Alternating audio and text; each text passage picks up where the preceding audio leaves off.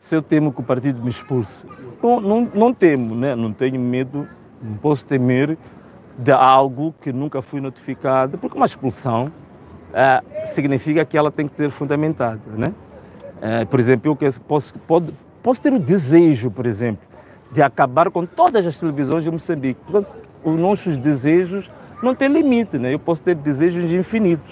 Então pode haver esse desejo, pode haver essa ansiedade de expulsar o Venâncio do partido. Agora, é preciso é fundamentar legalmente, segundo os estatutos, segundo a lei nacional, para isso acontecer. Como nunca recebi nenhuma notificação, nenhum fundamento sobre isso, não temos nada. Então estamos ainda no campo da imaginação. Então a imaginação eu posso deixar para a liberdade individual de qualquer um de nós imaginar até onde Deus lhe permitir.